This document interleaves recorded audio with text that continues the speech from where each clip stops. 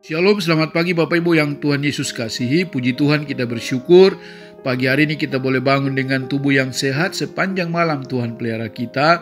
Dan sebelum kita melangkah sepanjang hari ini kita rindu merenungkan kebenaran firman Allah. Dan kebenaran firman Tuhan pagi hari ini datang menguatkan kita tentang orang yang bertahan dalam pencobaan. Bapak Ibu yang Tuhan Yesus kasihi, kita tidak boleh kalah dalam mengalami pergumulan dan persoalan. Karena Alkitab berkata dalam kitab Yakobus pasal yang pertama ayat 12 dan 13, demikianlah firman Tuhan, berbahagialah orang yang bertahan dalam pencobaan, sebab apabila ia telah tahan uji, ia akan menerima mahkota kehidupan yang dijanjikan Allah kepada barang siapa yang mengasihi dia.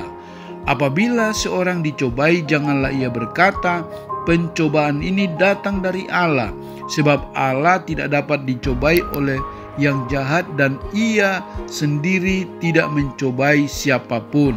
Bapak Ibu yang Tuhan Yesus kasihi, kita bersyukur pagi hari ini Alkitab berkata, "Berbahagialah orang yang bertahan dalam pencobaan."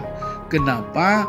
Sebab apabila ia tahan uji, maka ia akan menerima mahkota kehidupan yang dijanjikan Allah kepada barang siapa yang mengasihi dia.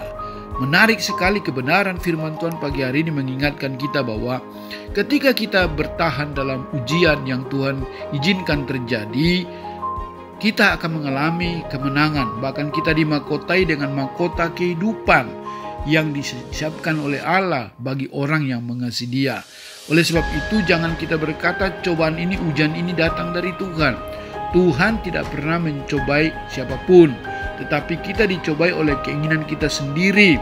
Dan apabila ketika cobaan itu datang dalam hidup kita dan matang dan dituai dalam tindakan dan perbuatan, maka dia akan membuahkan dosa. Tetapi kita bersyukur bahwa ketika kita diizinkan masuk dalam pergumulan dan cobaan, mari kita jangan mengeluh, tetapi mari kita bersyukur dan tetap melihat dari sudut pandang Allah bahwa di dalam pencobaan dan ujian pun Tuhan ada memberikan kita kekuatan sehingga kita tidak mengalami hal yang terburuk dalam kehidupan kita.